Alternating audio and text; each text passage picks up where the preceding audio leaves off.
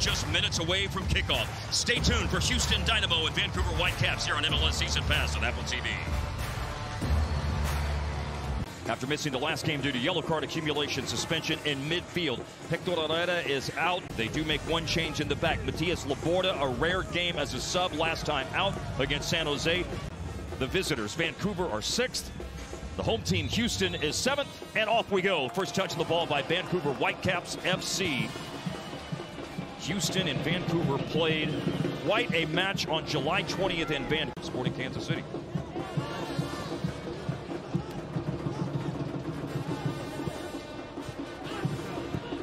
Carrasquilla. Trying to play in Ibrahim Aliyu. Aliyu against Laborda. Nicely done. Cuts it back. Chance to poke it home. And it's a goal for Kowalczyk.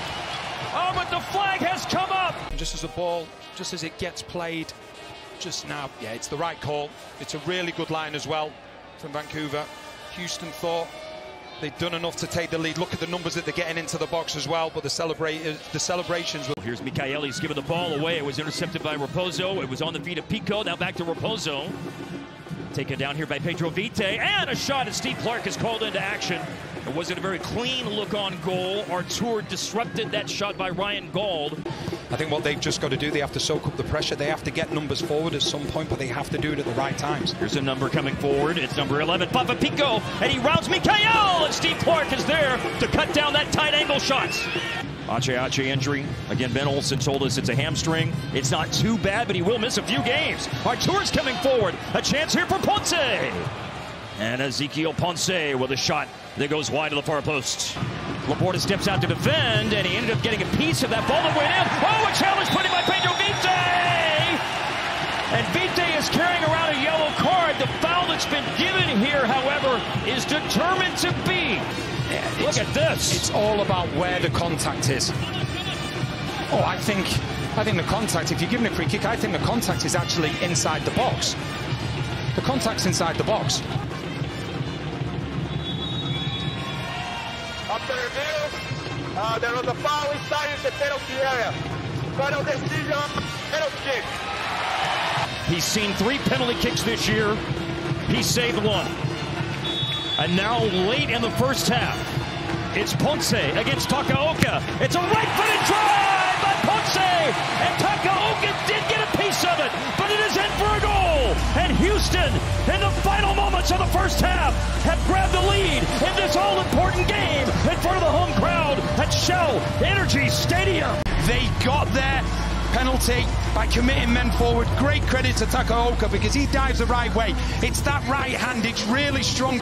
Houston won, Vancouver nil. And obviously all of that occurring in the final moments of stoppage time. Now the whistle blows to end the first half.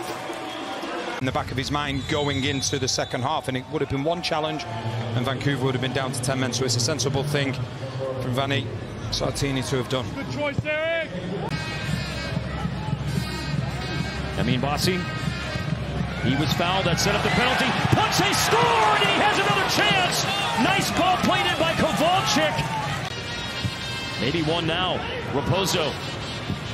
Ryan Raposo delivery. Picault's the target. You also had an arriving runner.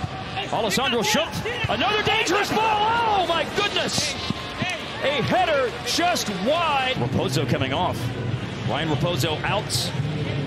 Brian White in. So I think what we'll see now is Pico coming over to the right in a diamond. White going up front with Gauld.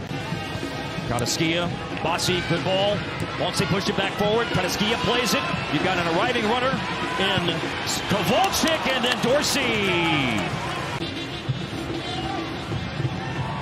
Physical play by Gauld. He wins the ball back from Carrasquilla and goes for goal. And a dive to his right. For a fairly easy save in the end by Steve Clark. But Vancouver deals with it.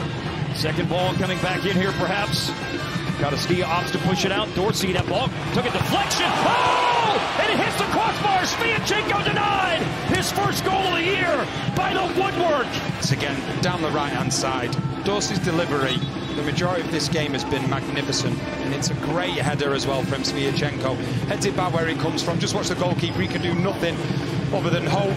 But the crossbar comes to Vancouver's rescue, and it does exactly that. But what's a ball in? Now a moment of some calmness for Vancouver. Picault lifts it into the box. Ocampo into the game. His first touch of the ball is a header that he snaps. It's a few games. It's not that bad, Ben Olsen said, but it's a hamstring, so it's a few games. He said you can't replace him. More on that in a moment. But Picault to Brian White, and Brian White is back, and he has made his presence felt in this game. Great run by Vancouver, ball served in by Picault, and it's 1-1 on the goal by Brian White. An equalizer for Whitecaps FC. And it's been coming. There's no question about it. It's been coming. Fans want to see some more urgency. You can hear that from the crowd here at Shell Energy Stadium. Whipped across field by Daniel Steres, and that is it.